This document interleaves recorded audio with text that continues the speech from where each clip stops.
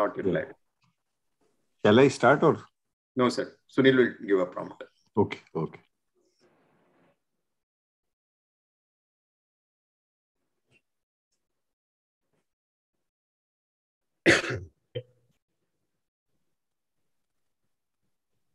so we are live. Okay. Good evening, uh, everyone.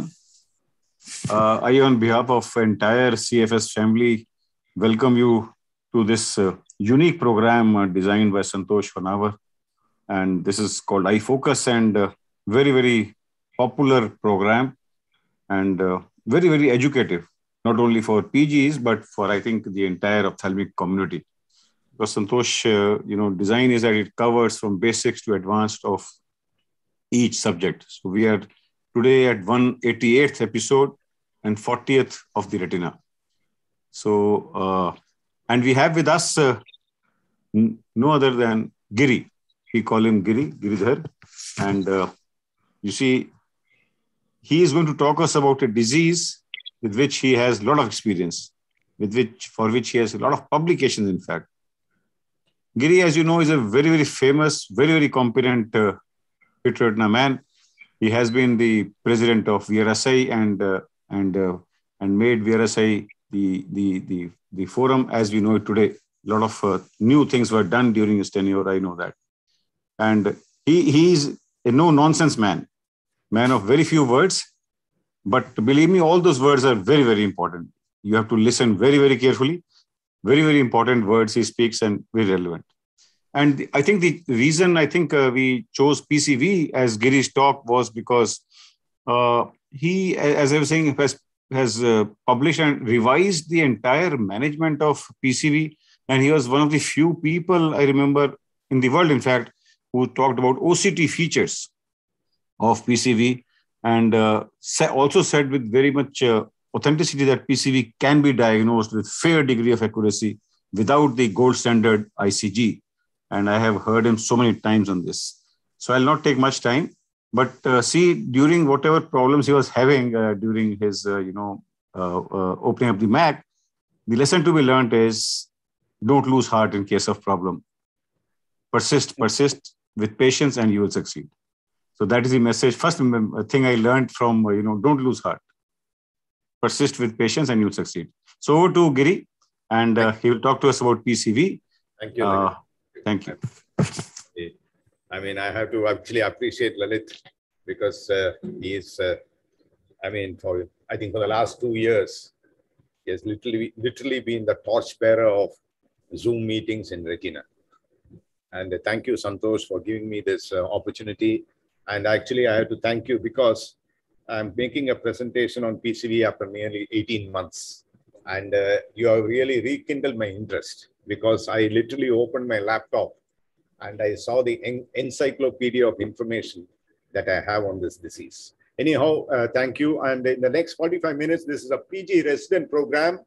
And therefore, I'll be talking a lot on basics and uh, try to make this uh, talk as interesting as possible, both to uh, postgraduate students, young ophthalmologists, and also budding medical retina specialists. So polypoidal choroidal vasculopathy actually was first described way back in 1982 by Yannuzzi. Therefore, it's about 40 years uh, back that uh, Yannuzzi described this particular disease.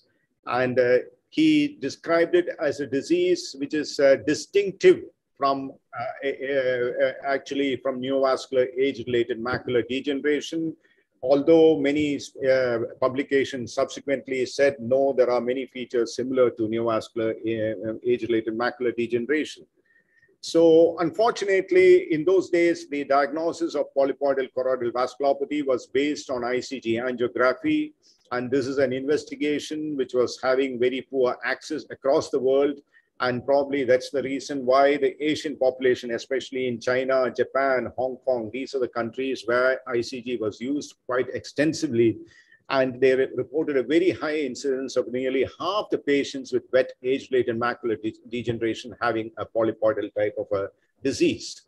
So what are the characteristic features that were described initially? They were the subretinal polypoidal dilatations, and the most important features of this disease, which was even described way back in 1982, was the presence of significant exudation and presence of subretinal hemorrhage and hemorrhagic retinal pigment epithelial detachments.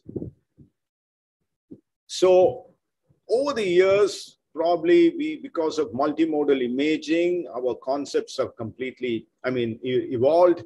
And, uh, you know, with the development of what they call as the pachychoroid spectrum, PCV was identified as a very important component of the pachychoroid spectrum. And many of the Western literature redefine this disease as what we call as an aneurysmal type 1 neovascularization. Now, when you see my subsequent presentation, you'll understand what it is. And basically, we have to try and understand whether there is a natural progress from what we call as a pachychoroid pigment epitheliopathy. That is, what happens if the choroid is thicker than normal. The outer choroidal vessels are dilated. They compress the inner choroid, and this results in ischemia of the outer retina and that results in some sort of a degenerative change, what is called as a pachychoroid pigment epitheliopathy, and this probably can progress to neovascular disease. So PCV, therefore, although has been described with a thick choroid, very rarely we do see it with a thin choroid. Now, this is a picture taken from Yannuzzi's initial description, where you can see these abnormal network of vessels ending in these polypoidal dilatations. Now, this was described way back in 1982. And surprisingly, if you really see that basically the thing is that this is really true. When you come to see my subsequent presentation, you will understand that this is really true. Therefore, PCV, therefore, if you see the epidemiology of the disease, it's more, it's common again in the same age group of patients who present with wet age-related macular degeneration, but probably a little earlier. And as I told you earlier, in the Asian population, the incidence is much more. Now, we had described way back in 20, 2010, I mean, we started working on polypoidal disease way back in 2006. And he was the person who was working with me at that time. He was one of our early fellows. And we made our first publication of a small set of patients with polypoidal disease, where we showed a male preponderance of the disease. And we also found that the exudative type is more common than the hemorrhagic type of the disease. Now, I will divide my presentation into three or four parts. One is the clinical presentation, the SD-OCT features, little bit on ICG angiography, and finally on management and some take-home messages. So these are some of the characteristic clinical presentations. One, presence of a submacular hemorrhage. So when you see patients with isolated submacular hemorrhage, small, medium, or little large, probably, in, especially in a middle-aged patient, who does not have any other coexisting disease, probably you're dealing with mean, a, a, a polypoidal disease. Second is what we call as an exudative type. Now you can see here a clump of exudate. Now when you see exudation, you must remember it's also seen in patients with classic wet age-related macular degeneration. But what is different in this particular condition is that you don't see the neovascular membrane. So normally in a classic type 2 or a type 3 choroidal neovascular membrane, you also see this typical grayish membrane adjacent to the exudation, which you normally do not see and sometimes carefully, if you see, you may see this orangish nodule. You can see here, then orangish change here. That is possibly the polypoidal network. So just to see the picture again enlarged. The third type is what we call as a serosanguinous type. Here you can see there is fluid, but very carefully, if you see there is a, sting, a small string of subretinal hemorrhage also. And this again is another form of a presentation of polypoidal disease. And finally, the mixed type where we have hemorrhage with a lot of exudation. When you see a patient like this, a middle-aged patient like this, with no evidence of any vascular occlusion or anything like that, and definitely this is a patient with polypoidal choroidal vasculopathy. So these are the various clinical presentations. Now, we recently, again, about a couple of years ago, we looked into a data of about 140 patients, and we found that basically the average age, again, was about 60 years. And you can see the types of presentations here. Hemorrhagic was about 53%, and probably it was more or less equally distributed. But what is more interesting, and the reason why I'm uh, showing you this particular slide is you can find drusen in some person. That is nearly 27% of the eyes with polypoidal disease did have drusen. That's why, you know, there is the concept is changing that whether it is a variant of neovascular age-related macular degeneration. So basically, here the, the, the, male and female preponderance was little different. We had more female patients. Therefore, they really there's no preponderance of males, female. I think it's seen equally. So these are the main clinical features and the epidemiology. I move into the OCT biomarkers of polypoidal disease. Now, these are the, this is a classic. If you're seeing this, you can just take a picture. These are classic pigment epithelial detachment. You must remember one thing in polypoidal disease, we do get PEDs. Why do we get PEDs? Because this neovascular network is growing between the Bruch's membrane and the retinal pigment epithelium. And therefore, the polypoid, when it leaks, it lifts the retinal pigment epithelium. So if you see here, this notch is very important. And if you see very carefully, you see this cavitation here. This is the polypoidal vessel. So you're seeing the polypoidal vessel here. This is leaking underneath and lifting the retinal pigment epithelium. And these sort of characteristic PEDs, the notch PED, the tall peak PED, and you can see the notch PED, and then this sort of a thumb-shaped PED where you see this hyperreflectivity just under the this thing. And the most important feature is that when you see any of these types of PEDs with serous macular detachment, I always say in my presentation that you don't see intraretinal fluid in classic polypoidal disease. Unlike in wet age-related macular degeneration, either a type 2 or a type 3, where intraretinal fluid is a very important characteristic feature, in characteristic polypoidal disease, you do not see IRF. It's only serous macular detachment with these classic pigment epithelial detachments. There are other interesting aspects of SD-OCT. Actually, SD-OCT has made us understand the pathogenesis of the disease. Now, this is a publication. Actually, this work, I should not take credit. It was done by one of my fellows who worked with us for a couple of years, and Divya Alex. And this was a very interesting presentation of the importance of the lateral flat pigment epithelial detachment. Now, this is what we call as a flat irregular PED, where the ret retinal pigment epithelium is irregular. There is a separation from the Bruch's membrane. And this is where the neovascular network grows, as Yannuzzi initially described. Now, if you see here in this particular stage, this is a follow-up of a patient with asymptomatic disease. Now, this was uh, like this. It enlarged a little bit like this. And subsequently, you can see the fluid coming in. Therefore, the neovascular network has become active. And slowly, you can see at the end, you can see the slow elevation. This is the pigment epithelium. Therefore, this is a neovascular network which ends in the polypoidal vessel here, which lifts the retinal pigment epithelium. And slowly, you can see it growing again.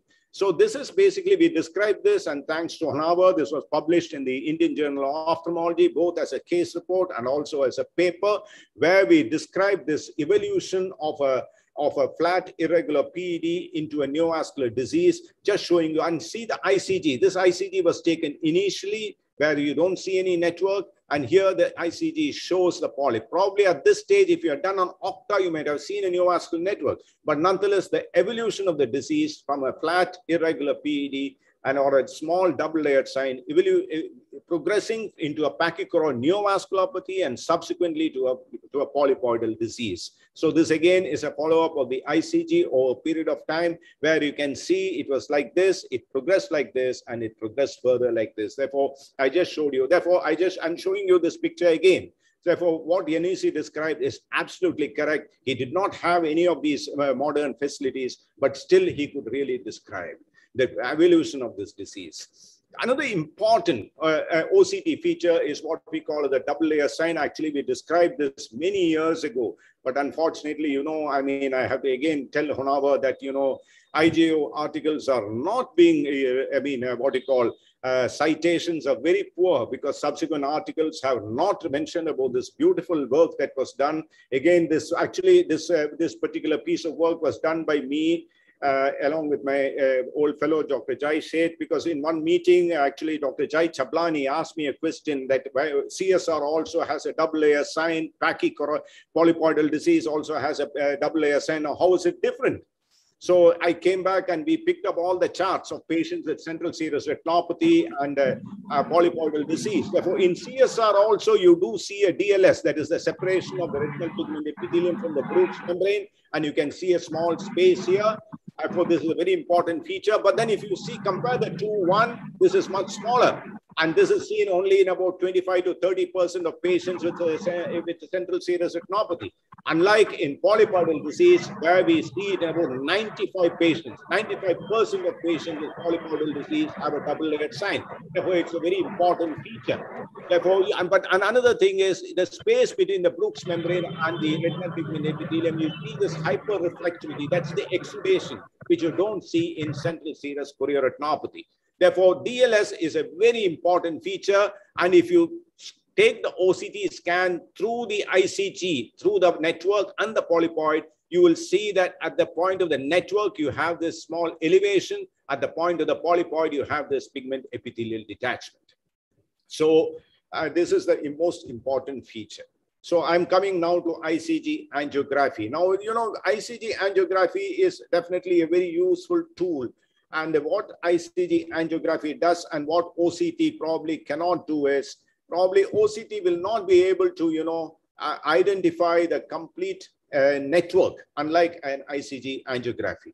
So we did another small study to find out, as uh, Dr. Uh, Lalit Verma said many years ago, this was uh, presented in the ASRS a couple of years ago, is ICG angiography necessary in polypoidal choroidal vasculopathy? What we did, is that we studied the sensitivity and specificity of all the types of pigment epithelial detachments, and we found that the notch PED had a 2.35% uh, greater, I mean, possibility of uh, diagnosing a, a polypoidal disease than any other form of a pigment epithelial detachment.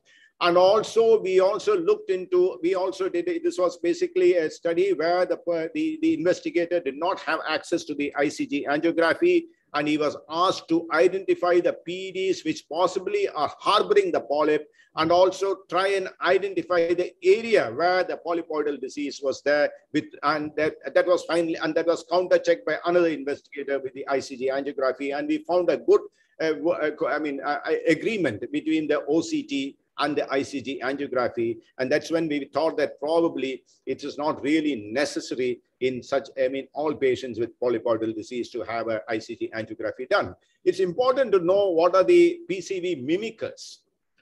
Now, this is a patient with a serous macular detachment. This looks like central serous chorioretinopathy.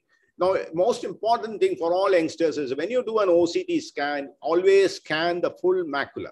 Don't just take a single scan. Now, if you look at this scan, this looks like a central serous chorioretinopathy. But then when you do the complete scan, you see this, again, what has been described by me as the flat irregular PED. And once you see this, and especially if it's a middle-aged gentleman, this is probably not CSR. It is possibly a polypoidal disease. And you can see here, this particular patient with ICG angiography, you can see the network and some of these networks ending in a polypoidal dilatation. Therefore, central serous chorioretinopathy like presentation probably especially in middle-aged person, is one of the most important mimickers of both pachychoroid neovasculopathy and polypoidal disease. And this is just show you the multimodal imaging of the same patient. There's another very interesting case, which I just saw about three or four days back. I thought this would be very good for this presentation. Now, this is an, uh, a wide angle photography. You see this here. You see this, uh, I mean, uh, that, this pigmented track here. And this is, we all know that this is a very important feature of central serous chorioretinopathy. If you see here, you can see this here. And uh, this, uh, this uh, pigment track, this is actually the percolation or gravitation of the subretinal fluid down. But then when you do the OCT, when, I, when we see this elevation, and then when you see here, as we pass the OCT here, this particular peak, peak PED, we know that possibly this is not central serous chorioretinopathy, but possibly this is a case of polypoidal disease. And the patient underwent ICG angiography. And you can see the polyp right where the pigment, I mean, you see this PED. Just where the PED is there, you see this polyp. And this patient, therefore, is not CSCR, but it's a case of a polypoidal disease. Therefore, OCT has got immense application as far as this uh, diagnosis is concerned. So this is the initial definition as to when an ICGA should be done. This is, this is, the, this is basically described in the guidelines for polypoidal uh, choroidal vasculopathy.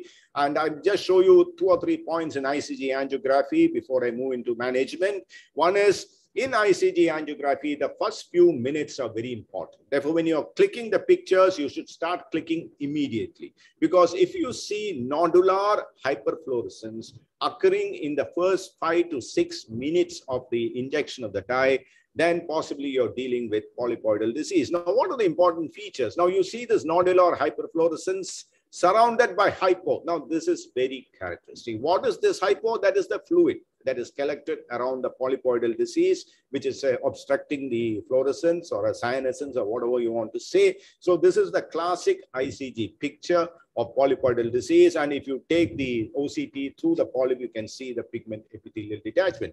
What are the applications? Applications is even in the presence of hemorrhage, you can see the, uh, you know, the polyp. So it is a patient, large hemorrhage here, but you can see the string of polyps here in this particular ICG angiography. There's another patient with hemorrhage here. In spite of the hemorrhage, you're seeing this network here. A network of vessels, what we call as a branching vascular network earlier. Therefore, on based on ICG, we can classify polypoidal disease into subfoveal, extrafoveal, and extrafoveal or peripapillary, peripapillary, whatever you want to call it. Therefore, you can classify the disease and you can also see the complete extent of polypoidal disease. Therefore, this is a peripapillary one in the papillomacular bundle. So I mean, it just also shows the complete design of the polypoidal disease. Now, this was described as what is known as a Bola sign. I mean, basically, you can see these polypoids all around like a ring. And if you want to do PDT, you know, it's easy. In those days when we now PDT is not available, you can identify and you can just, I don't think it's possible to completely map the polypoidal disease with, with, uh, with the sub, I mean, spectral domain OCT. So I have described the investigations, the diagnosis. Now I'm moving into the management. Now, what is the natural cause? Just like wet AMD, the natural cause of PCV is unfavorable. There's only one study which has studied the natural cause many, many years ago. Therefore, nearly 50% of the eyes lose, uh, result in significant visual loss in the first 12 to 24 months. Therefore, it is important for us to treat these patients and it's important for us to educate these patients what happens if left untreated. So as far as the treatment of polypoidal disease is concerned, we all know there are three forms of treatment. First is the combination therapy with verteporfin PDT. Second is the anti-VEGF monotherapy. And there are a small percentage of patients which may benefit with thermal laser photocoagulation. So the combination therapy has got level one evidence based on two important trials. That's the Everest 1 and the Everest 2 trials and uh, I'll come to it later. But I would like to say a few words on thermal laser for polypoidal disease. So thermal laser even now can be used for a very selected group of patients where we see polyps quite far away from the fovea. I mean, one of the disadvantages of a thermal laser is you may be treating the polyp, but you may not be treating the network. So probably the treatment may be inadequate. Number two is that if the you know area of involvement is large, you can create a scotoma. So it is not ideal to treat uh, the, the, these uh, patients which are very close to the fovea because you may create a scotoma.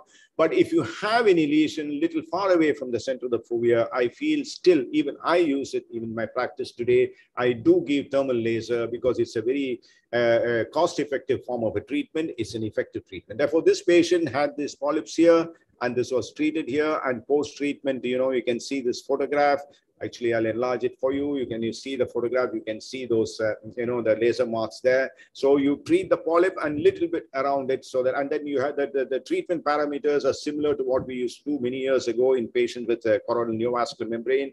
You need to use a higher duration burns and you need to whiten it and you need to give confluent burns. So this is another very nice case to show you how, you know, thermal laser works. So you can see this exudation has completely reduced uh, significantly. In fact, later when the patient came, it had completely disappeared totally. Therefore, it doesn't recur. Therefore, you're able to kill the disease with this particular form of a treatment.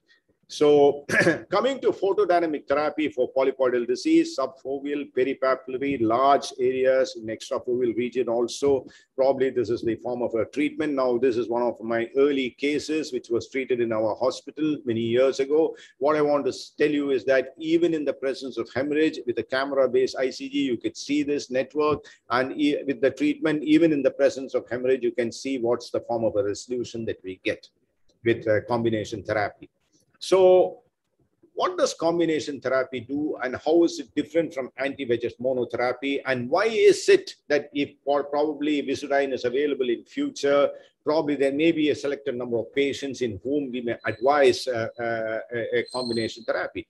One of the important reasons is you get a longer, a long period of quiescence. Now, this particular patient has had multiple PDTs over a period of eight to nine years. And if you see here for two and a half, three years, the patient was asymptomatic. So for, for two and a half, three years, the patient did not have any treatment at all. It was a quiescent period. So, and number two is that you see some of these patients, in spite of multiple treatments, they maintain good vision. Now, this is one of my very early patients with about 10 years, 11 years follow-up. Even now, the patient has got normal visual acuity.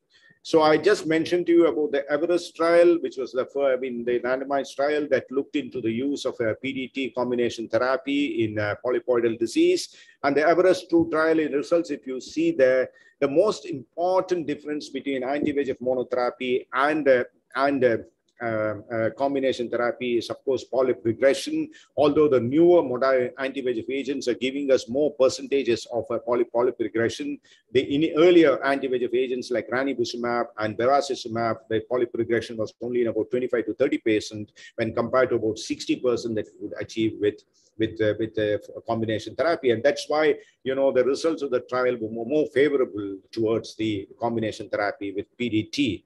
So I will show you another very interesting case just to show you the evolution of the disease. Now, this particular patient had a polypoidal disease. She was treated many years ago with multiple injections of ranibizumab with very, very poor response. You can see here there's hardly any change in the subretinal fluid. And you can see here, in spite of ranibizumab, the network is actually increasing. At that point of time, the patient underwent reduced fluence PDT. And after PDT, you know, she completely recovered. As you can see here in the right this side, you can see there is completely, there's no serous macular detachment. Even the PD height has reduced. And this patient has been under our follow-up for nearly now 10 years. Now, after a gap of about four and four, 42 months, the patient had a recurrence just before the pandemic, and subsequently she has been treated with aflibercept injection as a on a on a PRN basis. And you can see here that with aflibercept, you do need to give the injections at least once in eight weeks and uh, the patient actually was, I mean, is willing for another PDT in case Visudyne is available because uh, she's finding taking these injections on about eight to 10 weeks interval quite tedious and also not that, although the cost has decreased, it's not very, I mean, it's really not uh, compliant as far as the patient is concerned. So what I want to show you here is that, you know, the PED size is really not decreasing much. Thereby, once, if you see that the notch PED is not decreasing in height, that means the neovascular network is really not regressing. Therefore, the treatment-free duration was 42 months in this sort of this in, in, in, in, this particular patient. Therefore, we looked into the long-term efficacy and safety of PDT mono combination therapy. And in this particular paper, what we have found is 42.5% of the 40 eyes did not have any recurrence in SD-OCT with a minimum follow-up of mean follow-up of 27 months. That is more than two years. So that's quite a long period of time that you can get uh, patients into a, a quiescent period without any injections or without any form of treatment. So I now come to the use of uh, uh, uh aflibercept uh, in in in in in in uh, in, uh, in, uh, in PCV, and aflibercept probably is was one of the first molecules with with which we could get polyp regression uh, uh, I mean, with anti-VEGF injections. But what I want to tell you all is that this is a very, very temporary phase. So this particular patient had polyp regression, but actually within two to three months, the polyps have recurred again. So it's not that, you know, it works for a long period of time. So the patient needs to have uh, uh, continuous injections. So this patient, you can see here that it had regressed and slowly you can see the recurrence of the polyps. Therefore, the you need to treat these patients, keep the patients on a regular follow-up. Therefore, the difference between ranibizumab and aflibercept is aflibercept gives about 60% of polyp closure when compared to ranibizumab, is about 30 to 33%. But nonetheless, you know, these patients will need regular follow-up. And this patient also was switched to uh, PDT with the bevacizumab uh, subsequently, and there was complete uh, resolution. And this patient is again under our follow-up. Therefore, summarizing the role of anti-VEGF uh, therapy for polypoidal disease, it does result in improvement of visual acuity. It results in resolution of small submacular hemorrhages. Its weakness is uh, basically poor regression of polyps in ICG. Uh, some of the anti-VEGF, earlier anti-VEGF agents are poor responders. Now, as I told you earlier, the, the, PCV can occur with thin choroid, and I would like to share one particular patient which has been under my treatment for quite some time. Now, this is a classic case of polypoidal choroidal vasculopathy. This is the PED, and this is the polypoidal network. And if you see here, the patient has got a large uh, uh, pigment epithelial, thumb-shaped pigment epithelial detachment with a large serous macular detachment and also the double-layered sign. All the characteristic features were there. This patient was initially treated with aflibercept, but after two doses of aflibercept, I did not see any change either in the serous macular detachment or in the height of the pigment epithelial detachment. At that point of time, I felt that we need to, and prior to that, she had had two doses of ranibizumab. So at that point of time, I thought I need to change and I shifted to the new drug called brolucizumab. And this is the uh, OCT taken just before the first injection of brolucizumab. So the patient received two doses of brolucizumab at six weeks interval. And you can see here after two doses, there is significant regression, not only disappearance of the macular detachment, but most importantly, the pigment epithelial detachment has reduced significantly, meaning thereby probably the neovascular network also has regressed. Therefore, in this particular patient, we found that brolucizumab was quite promising. So summarizing, therefore, aflibercept can achieve polyp closure, although for a shorter period. Brolucizumab appears to be promising. We still do not have much data on that. But nonetheless, most patients in uh, with PCV who are on monotherapy with anti-VEGF will need what we call as a treat and extend treat uh, regimen because uh, basically these are patients who come back with early recurrence. So summarizing my presentation where I looked into the clinical features, the OCT features, the ICG features, and the management, PCV, I feel, is a distinct clinical entity which has got distinctive biomarkers, each biomarker features in OCT.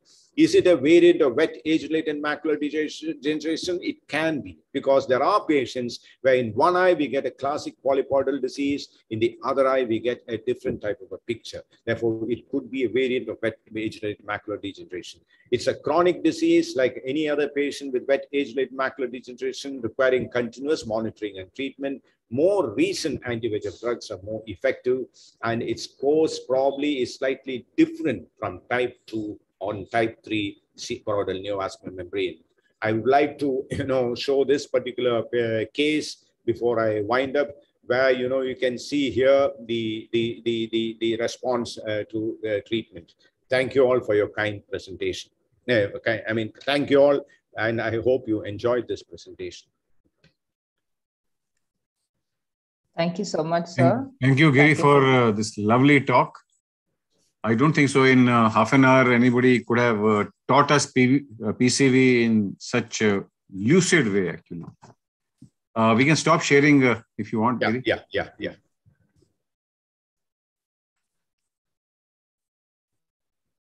So the format of our, you know, this educated program is uh, after the talk, we, we, pay attention to the questions. Actually, we have to solve all the issues which, you know, our front benchers ask. So uh, one question which has uh, been asked, which uh, you have to reply is, in how many diseases come yeah. under the pachychoroid spectrum? You see, pachychoroid spectrum, uh, as we all know, is yeah. uh, is a is a spectrum which keeps expanding, and we have recently started, you know, understanding all the things which come under it. So, can you please reply to this, Giri? Yeah, pachychoroid uh, spectrum, from what I have understood, is uh, it's a very evolving uh, uh, uh, terminology. Of late, there are a lot of questions that are being asked about the definition itself. And in the original description, we had pachychoroid pigment epitheliopathy, pachychoroid choroidal uh, neo, I mean PCN, pachychoroid neovasculopathy, polypoidal choroidal vasculopathy. Then we had central serous chorioretinopathy. So these were the main uh, diseases that were initially, you know, classified as a pachychoroid spectrum. Then there are so many other things like, you know, focal choroidal excavation and so many other entities which now slowly people are, I mean, you know, uh, defining in the pachychoroid spectrum. But uh, uh I mean, I think these are the main uh, entity, clinical entities which come under the pachychoroid spectrum. So Rajneesh, you got your answer that, you know, starting from uh, uh, pigment epitheliopathy, then uh, neovascularization, then CSR, then uh, and you see there have been some patients who show the evolution from one part to the other.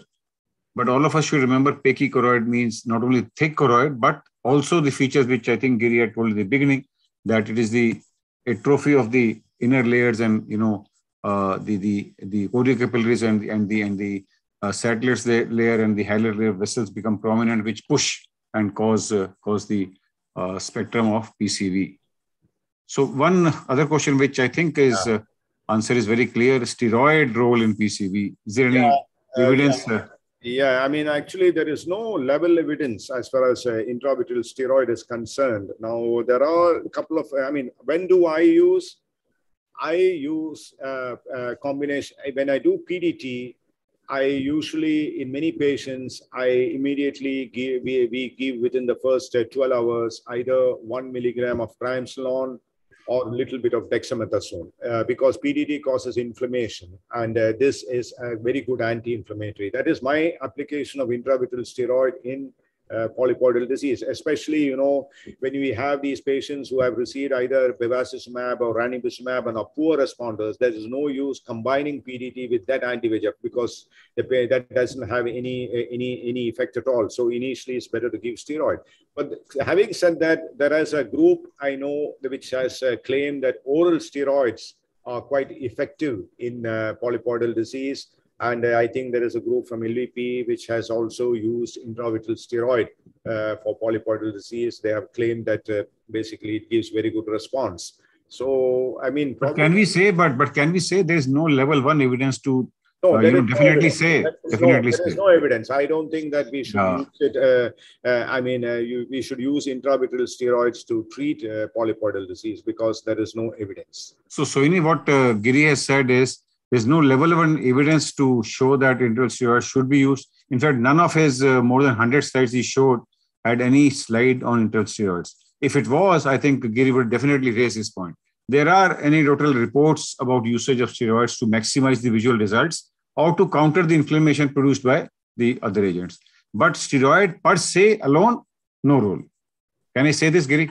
Yeah, yeah, very yeah. true. So alone, no role, no role. So any other question, uh, uh, Dr. Deepti or Miriam? Anybody has? Yes, so there are a couple of questions. So let, and... let me let me ask this also. How sure. uh, Sohini has again asked uh, how many settings of PDT needed? If because PDT Sony presently because verteporfin is not available, so PDT presently is out of work. But uh, she wants to know how many settings are usually required. No, actually, usually only one sitting of PDT is required, uh, doctor. I mean, uh, yeah, we have never given uh, PDT more than one uh, sitting immediately. I mean, and it's very risky to give PDT uh, immediately. That is, you do see when you do PDT combination therapy, the end point of treatment is about three months, two to three months. Now, at the at about two to three months, if you're having some residual fluid, etc., you will have to give a couple of more. And I, what we normally used to do earlier is that at three months, we used to do a repeat ICG angiography because once you do a repeat ICG angiography, you know whether the polyp regression is reasonably good.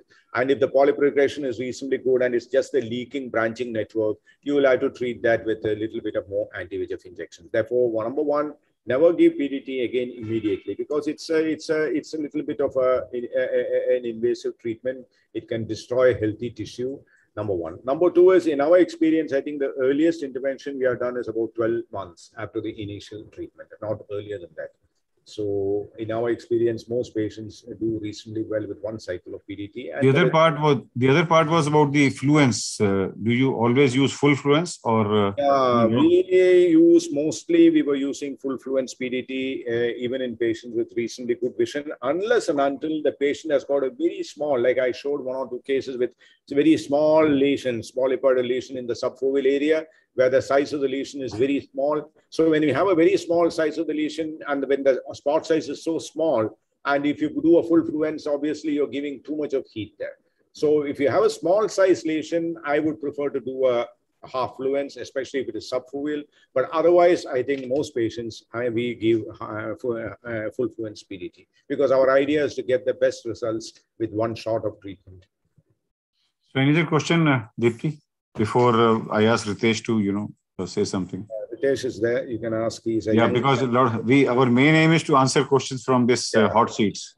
Yeah, I mean, DRF people are more uh, knowledgeable than us. yeah, Deepti. So, sir, the question that stands out the most is, I think, something that Dr. Giridhar mentioned right at the beginning of his talk and also concluded with, which is whether the pachychoroid spectrum is a separate entity or if it's a variant of AMD. Uh, I think Dr. Giridhar has made it clear that he believes that it's a separate entity. I think uh, would you, would Dr. Lalit or Dr. Ritesh would like to comment or remark on this debatable issue? You see, we, uh, yes, Ritesh, after you. You can unmute, yeah. Ritesh, you can my, yeah. my signal was off. So what I heard was you want to know whether uh, PCV and uh, CSR. No, Um, No, yeah, Pachychoroid. Yeah. He wants to know whether, uh, yeah, whether PCV is a variant of wet AMD. Is it a, I mean, she wants to know what is your opinion? Is So- it a variant or is it a distinct, separate clinical entity? especially when there's a patient with a thin choroid. That's a difficult one. So there is a lot of overlap between the two entities. We earlier had a lot of belief in. Uh, there was an entity wherein we used to say this is a polypoidal variant of CNVM, which further modified as PCV, and then we started considering them as two separate entities. And uh, now again, there are reports which have started to again start keeping them both as close to each other as possible. But clinically, if you ask me, there are certain very distinct features which keep the two entities still from my end a little separate from each other. Uh, the presence of drusen, which is much more common in uh, wet AMD, not that commonly seen in PCV. The amount of hemorrhagic changes that you see in PCV a lot more compared to those seen in wet AMD. Presence of intraretinal fluid, which is a lot more common in wet AMD, not seen in PCV, are very separate, distinct entities. Yeah, the debate is on and off, on and off going on.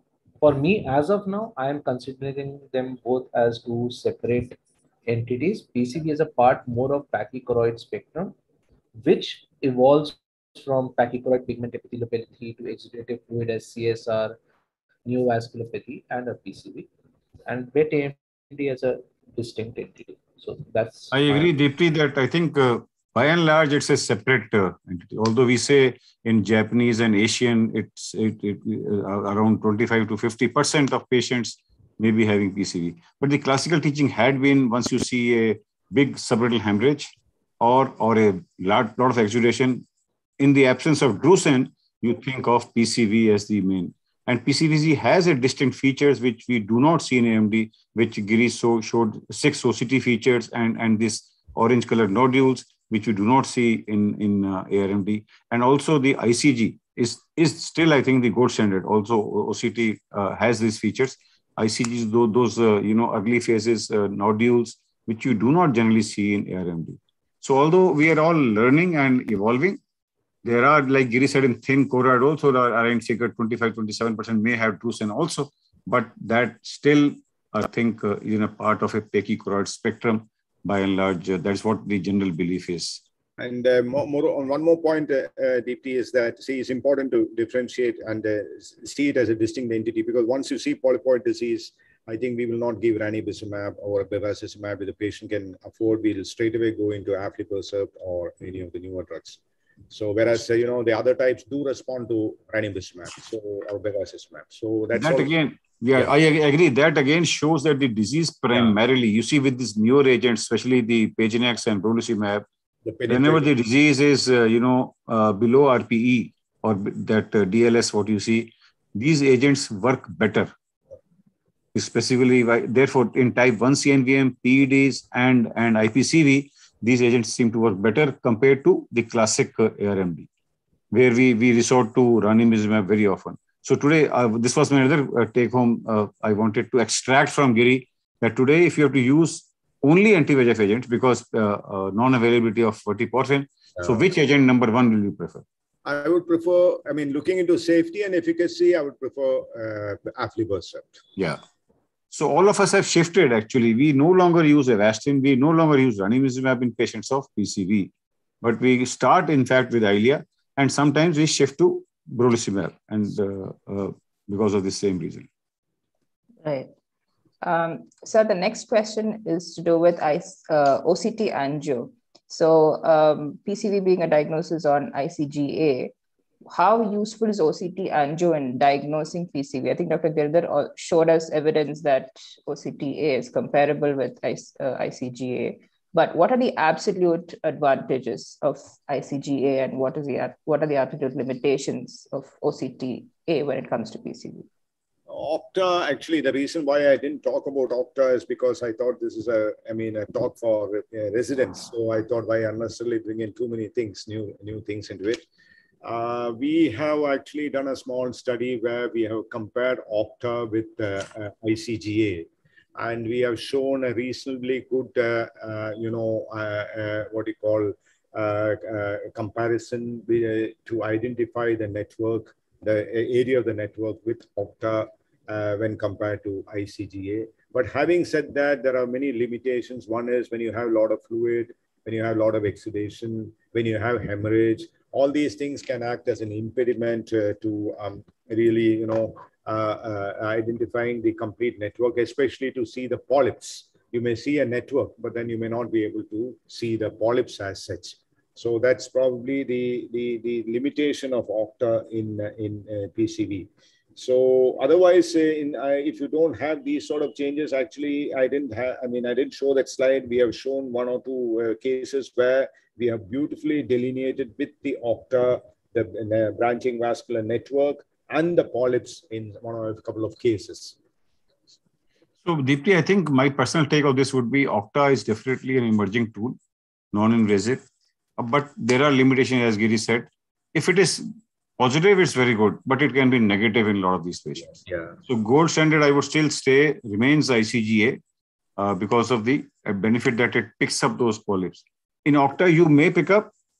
That's very good. That surely helps. But if it does not, does not rule out. Yeah. For example, that patient with thin choroid, where yeah. an elderly lady, actually, when they have large PEDs, it's very difficult to do an Octa. And uh, you will not be able to, actually, that particular patient, we couldn't identify any network because I didn't want, I was not very keen to do an ICGA. And uh, finally, I did an ICGA just to confirm the diagnosis, although I knew. So that is another, uh, uh, I mean, uh, disadvantage of Octa. So when you have large PEDs, it's very difficult. So yes, other question. The, the, yes, yeah. the PGs would like to know the mechanism of PDT, and also could you elaborate on low fluence PDT? Uh, mechanism. Actually i had that slide. Unfortunately you know in all this uh, the mess i was in for about five minutes my actually the last edited presentation was not the one that i presented. It was the one that i prepared earlier to that. So in that uh, last edited presentation i had uh, one or two slides on photodynamic therapy.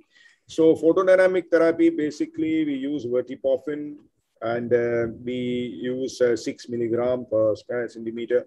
And uh, basically it's given over a period of 10 minutes. And then subsequently we show a 689 nanometer special laser. The laser itself is very different. Therefore, it's a, therefore this is a photosensitive dye that we are injecting that selectively collects within this network and uh, basically, and when we show the, uh, the, the, the, the laser is absorbed by the photosensitive dye, and this is a photochemical reaction that occurs which destroys the abnormal vascular network. You see, DP, as I understand, the, the thing is because Giri uh, talked about thermal laser also. You see, the reason there is a difference in the response between interval injection vis-a-vis uh, PDT or laser is because aim is to somehow kill the polyp, kill the polyp.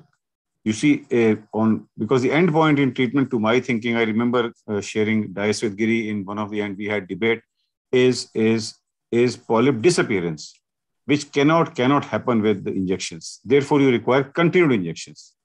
You cannot uh, you know depend on injections and forget about it. Whereas with PDT, he has shown even the 10 years also. Sometimes patient may do very well. So with PDT, advantage is that the polyp, which is the cause, which is the ultimate cause in uh, for hemorrhage or for uh, exudation, we we we make the polyp disappear. Okay. So is there a is there a peripheral variant of PCV? Yeah, uh, yeah, yeah, yeah. Tell us a little bit about. So, I was coming to that actually. yeah. So, so your peripheral variant. Yeah, peripheral PCV is actually, as far as the peripheral PCV is concerned, uh, basically, as far as, I mean, what do you want to know about the management diagnosis? Diagnosis of peripheral PCV is by ICG angiography. because you need a wide angle OCT if you want to diagnose it. It's possible. So you need to do ICG angiography. Patients usually present with peripheral uh, sub, uh, subretinal hemorrhages or uh, sub-RP hemorrhages. And uh, management uh, depends on the size, extent, etc. It's a it's a small peripheral. I mean, if it is little bit in the periphery, you know, it's I mean, it's accessible by thermal laser. You can even give thermal laser. Suppose you know it's just outside the uh, you know the central uh, 30 or 35 degrees, and if it's distant peripheral, and if there's a small uh, subretinal hemorrhage or hemorrhage and you're able to identify the polyps and possibly, you know, you can give thermal laser. If it's a slightly large, some of these patients which are slightly large hemorrhage, which is little peripheral, which is not affecting the vision, I may even just follow up these patients without any form of treatment. I may not give anti-VEGF injection because by giving anti-VEGF injection, I may trigger something. So because some of these, these things are self-resolving, you know. But when I see that the hemorrhage is increasing in size and this thing, I may give uh, intravitreal Eylea. It works again. Because there are patients with peripheral PCV, which I have seen with uh, subretinal hemorrhages here and there, with a lot of exudation also, with multiple injections of anti-VEGF uh, aflibercept, they responded extremely well. And then very rarely you can get massive, uh, you know, I mean, breakthrough hemorrhages. If they get breakthrough hemorrhages, we do vitrectomy even because they don't absorb. And usually one of the paradoxical features of uh, peripheral PCV, especially when they have the breakthrough hemorrhages, once you do the vitrectomy, the disease dies. Have hard, we have hardly seen any because I think that whole area becomes atrophic. That area of the choroid and the retina becomes atrophic or pigmented, or what do you want to say?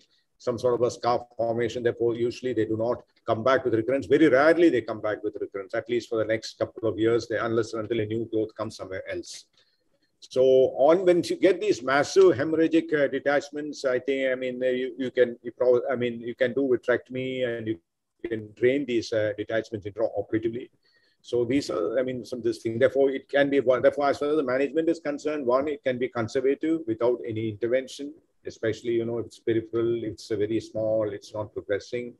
If it is somewhere within the between the equator and the posterior pole and it's not large, you can do ICG angiography. And after giving one or two shots of anti-VEGF, if the hemorrhage is reduced, you can give thermal laser and try and kill them. If you have larger hemorrhages, then you can give multiple doses of uh, intravitreal uh, aflibercept. If you have breakthrough hemorrhages, there is a surgical element that comes into the management. So, Giri, one uh, suppose you do a vitrectomy in patients who present with uh, PCV or uh, variant there's peripheral PCV. So after you have done the vitrectomy, which actually is a mechanical job of clearing the hemorrhage, but not treating the disease per se.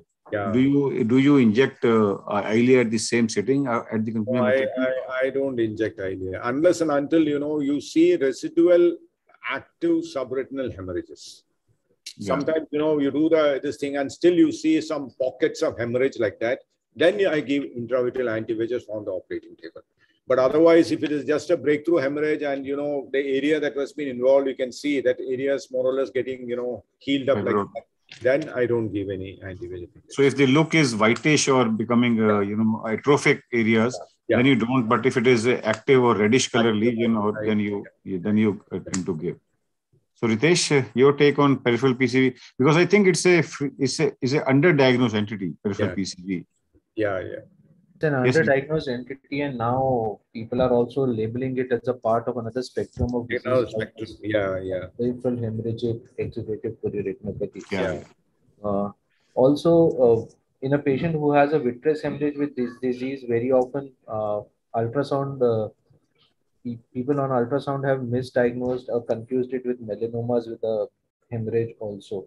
So that's a differential one has to keep in mind when you're considering it. So ultrasound features are of a melanoma pretty characteristic on that. Uh, another thing which I I don't know how useful it is, Dr. that I generally do is if I see a hemorrhage which is in the periphery and I have a fear it might trickle down to the macula, it kind of barrage it off also. Barrage it off. Yeah, and, and I don't use anti-VEGF or Eylea at the end. Generally, I don't use it. And as you rightly said, most of the time they don't come back. They just scar in that that subretinal. Yeah, I think uh, this. Uh, so barrage laser is probably a good idea. You don't lose anything. Yeah, because you're doing in the periphery actually. Yeah, yeah. You don't lose anything. That's a very sensible uh, approach. So let me ask one uh, uh, maybe last question or what? What is your endpoint? So because verteporfin not available, what is your endpoint in treatment of uh, of PCV? Endpoint of treatment is uh, at present the endpoint is uh, absence of any activity on OCT. That's absence of serous macular detachment, resolution of serous macular detachment. Mm-hmm. Yeah, that's the that's the endpoint of treatment. I, I mean, basically, yeah, that's the endpoint of treatment. Because I feel in PCV, if there is activity, you have to treat. Because I'm always worried about the hemorrhagic element. Yeah. Uh, because you know, some actually, I had a patient recently. The one patient which I showed you, actually, this patient actually had very little fluid. And, you know, some of these patients, unfortunately, you know, when who are receiving regular injections, you know, when they come with little fluid, they ask, is it necessary now? Can I wait for some time? And, you know, you just say, okay, you know, because basically they are also fed up. I mean, not fed up, but then they want to, you know, reduce the expenditure, etc. and all. And this lady came with a hemorrhage. So I'm always worried about hemorrhage. And I, unlike wet, other forms of wet AMD, where probably a type 1, if it is a type 1 neovascularization with the little SMD, probably I may, uh, you know, you, you I mean, uh, uh, treated only if it's increasing. I may a little fluid with stable vision. But in PCV, I feel this hemorrhagic component is always a scare. And I think if there is any form of activity, you have to treat. And if the after after the activity has reduced, do you always put them on treat and extend for uh, uh, long time, or uh, you... I, I uh, actually, as far as my TND protocol is concerned, in the first year, I initially give the loading dose and PRN, and I study the you know the behavior. And then after that, once I'm convinced that you know these are patients who need very regular injections, then I shift them to TND. That's my usual uh, this thing. Therefore, first six, seven, eight months, they are on a, initially on the loading dose and PRN and if I find that the PRN intervals are very short, then I shift them into a treat and extend. And this treat and extend continues for life? Yeah, I mean, for quite some time, unless and until, you know, suppose now I find that the duration is really increasing very well. Now, you know, eight weeks, 10 weeks, 12 weeks, 14, even after 14 weeks, uh, 12, 13 weeks, there is no fluid at all. Then possibly I may just tell the patient, okay, let us just see what happens. But then if I am within about eight weeks itself, if the fluid is recurring, then I, I mean, I would prefer to continue the TND. So that, that means mon- even if you give a drug holiday to this patient, that means monitoring still is important. Yeah, yeah monitoring is important. So Deepti, any other questions you have on any other uh, channel or? Uh, that's also there are two small quick questions. One is is smoking a risk factor, and two is there a role of TPA in large hemorrhagic uh, PCVs. Yeah, I mean that's uh, yeah, and I mean uh, large submacular hemorrhages definitely TPA is is useful actually, and uh, uh, we I give more of intravitreal TPA rather than you know uh, doing vitrectomy. Sorry. Yeah, I, I mean, I mean, our results are quite very good. In fact, I mean, this thing. And second thing is, what is it? Smoking. Yeah smoking i mean there is no i don't think there is any evidence i mean is there any evidence uh, Narula? i mean uh, no they, what uh, what you see with armd armd armd it has been listed definitely uh, ARMD has been listed smoking and uh, hypertension. Uh, Lalit, if you take the history of many of these patients, uh, if you ask them, do you smoke? They would have said, yes, we were smoking, we don't smoke now. So most of have stopped smoking. but so, far as literature, like Ritesh was pointing out, uh, like they may be two distinct entities. Smoking and hypertension and antioxidants, they have been linked more to ARMD rather than to PCV. So these three things have been linked to ARMD and not to PCV. Therefore, we still believe that, you know, although there may be some overlap between, as was being pointed out, but by and large, maybe these are distinct entities uh, we are talking about. Any other thing? I Deepti? think that's all the questions we have, sir. Thank you so much. I think the talk was very exhaustive and yet very lucid.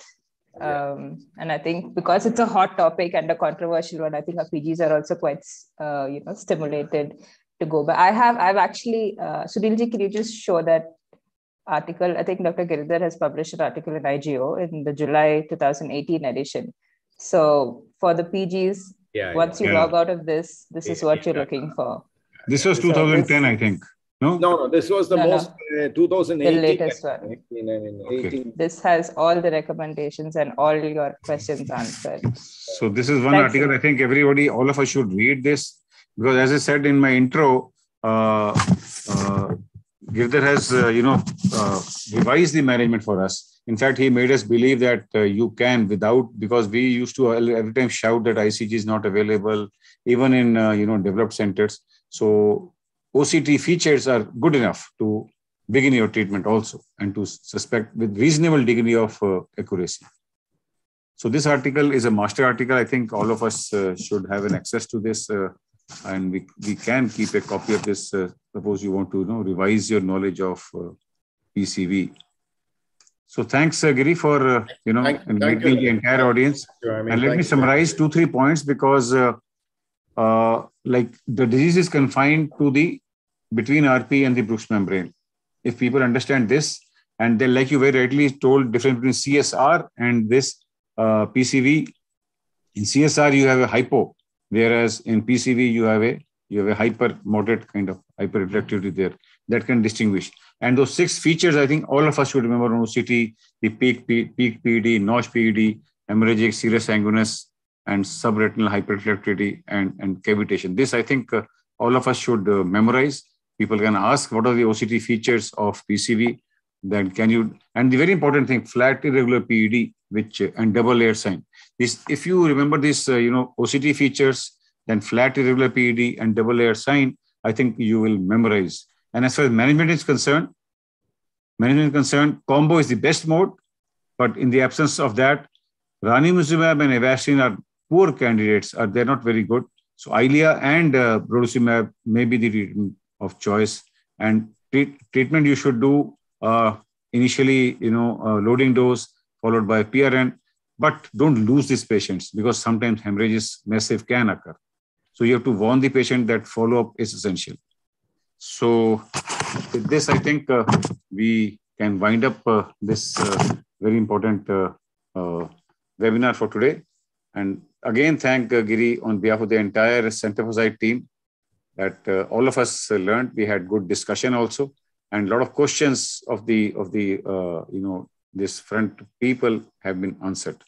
So thanks once again, Giri. Thank you. Thank you, sir. Thank you, Lalit. Thank you, Santosh. Thank you, Thank you so and uh, thank you, Ritesh, also. Nice seeing you all after a long time. Thank you.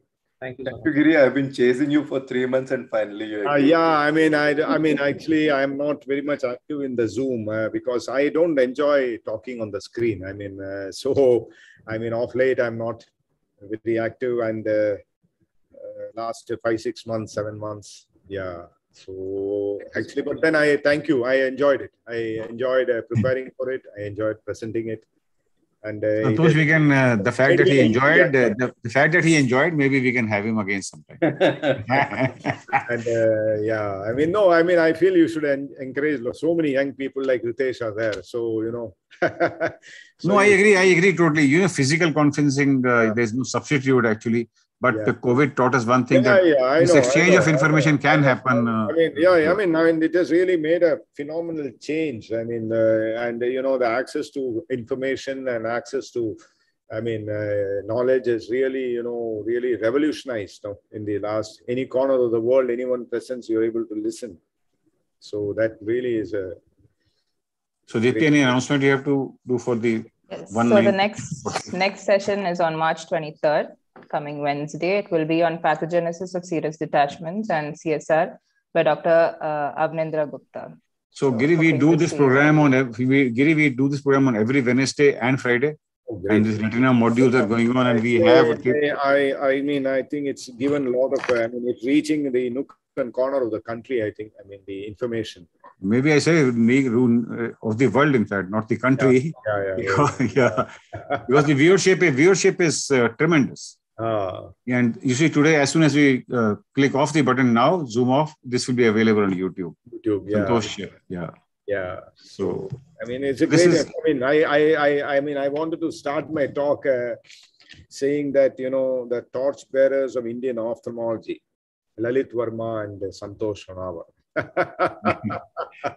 no, we all. Uh, unfortunately, unfortunately, that uh, little bit of confusion, you know, which I'm not. I, I don't like all this. Actually, in the evening around five o'clock, I, I my my IT manager he told me you just test it off with a because we have got a Zoom license in the hospital. So he said I will schedule a meeting and then you know we'll test it Off. Unfortunately, my OP, you know, it got because I had COVID very recently. So my outpatient, Mhm. you know, yeah, I was not, not working for nearly. I mean, uh, I I think I thought it's all over. so I don't. I think I became a little careless, and I landed up with one. So my OP, you know, stretched till about five thirty-six, and by the time I came home, I mean, anyway, forget it. Okay, sorry, sorry for the. No, no, no, no, no. I, I, I you see, we learn from everything. I told you in the beginning itself. You see, if there's a problem, persist with patience. It will lead to Uh. Lalit, actually, since I'm seeing you, I thought I wanted to tell you about something. I think we must do, you know, something in the memory of Appaswamy. yeah, yeah. And because say- he is really actually when we had the in All India meeting here in Cochin last, actually I invited him to and I wanted to honor him during the inauguration, but unfortunately even at that time he was sick. So I feel that you know we have to do something. Either the trade exhibition should be you know. there. No, Giri, this is in the pipeline. This is in the agenda of governing council. Yeah, yeah. yeah. Something is being planned. We Yeah, will yeah. uh, come out definitely. We will. uh, We will. really change. Actually, uh, Lalit, the first time I met Appaswamy was when I was doing my PG in 1980. He came and met Professor Lamba in Pondicherry and he gave a cryo machine for ICC. So Yeah. he, said, you know, in Tamil, he told him that you try it. I have developed it. You try it. So he was a young man, very young man at that time. So I still remember that. I, I, and, and surprisingly, you know, Lamba's classes will be in his in his uh, chamber. I know P.A. Lamba, he came from Lady Hardinge. Yeah, Yeah, yeah, yeah. So uska class jo hai, he will conduct and we were all standing in one corner, like, and then this guy, like, he called him inside, and he just handed over this. So that is how he started way back in 1980, and I think he handed over this uh, probably to RP Center also, and Yeah, yeah, yeah, yeah, yeah. No, we will. We will. yeah, yeah. So Okay, with this, I think uh, let's call it a day and uh, hope to see you uh, Yeah. physically soon in maybe Yeah. Mumbai conference. All of us, we are awaiting that. So thanks, uh, uh, Ritesh, Santosh, and once again, Giri. Thanks a lot.